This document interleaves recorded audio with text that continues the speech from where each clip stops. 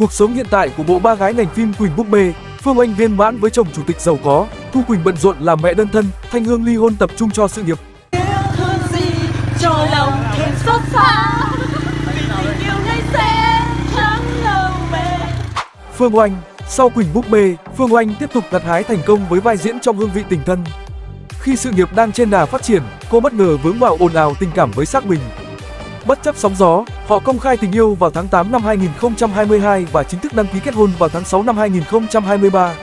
Hiện tại, Phương Oanh đang tận hưởng cuộc sống viên mãn giàu có cùng chồng và hai em bé song sinh. Đặc biệt, cô còn được khán giả khen ngợi là khéo tay với series bếp nàng ỉn chia sẻ các video nấu ăn cho gia đình. Thu Quỳnh Thu Quỳnh tiếp tục khẳng định tài năng diễn xuất của mình sau vai mi sói. Với những bộ phim như Về nhà đi con, Hành trình công lý và Hương vị tình thân. Dù cuộc hôn nhân đầu tiên đổ vỡ, Thu Quỳnh vẫn lạc quan, mạnh mẽ. Tháng 4 năm 2024, cô gây bất ngờ khi thông báo mang thai và làm mẹ đơn thân lần thứ hai. Đối mặt với những đồn đoán tiêu cực, cô mạnh mẽ đáp trả, khẳng định không hối hận. Hiện tại, Thu Quỳnh đang sống cùng hai nhóc tỳ và luôn nỗ lực bảo vệ cuộc sống riêng tư của mình. Thanh Hương, chị Lan giả Thanh Hương lại có đời tư khá kín tiếng.